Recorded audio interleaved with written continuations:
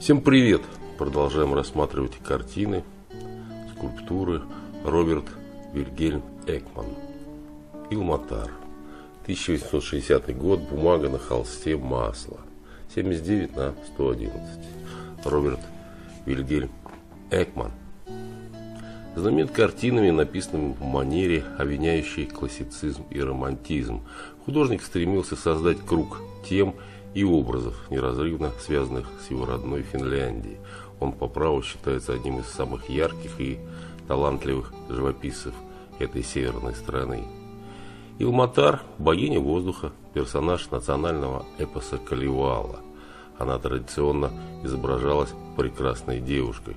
Так и здесь на картине художник делает ее платье, фигурку, словно сотканными из воздуха.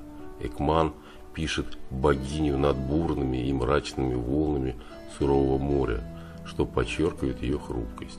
Полотно очень интересно композицией атмосферы.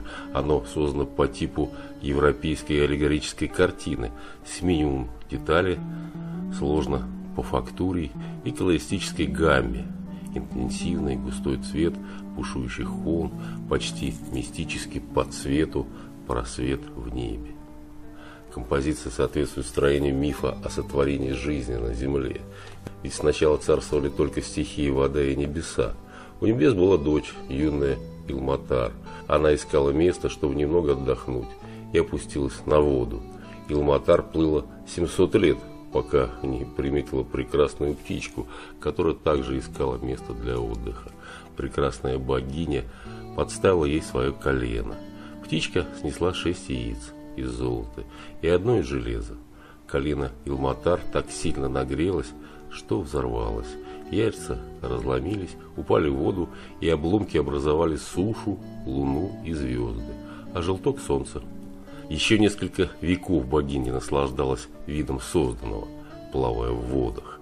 Наконец море оплодотворило ее, и она родила на свет первого человека, Вейнамейнина. Этим сказанием открывается эпический сборник народных легенд Каливала. Вот такое описание нашел в интернете к работе Роберт Вильгельм Экмана «Ильматар», 1860 год. Текст по книге «Великие музеи мира». Пока-пока, до свидания.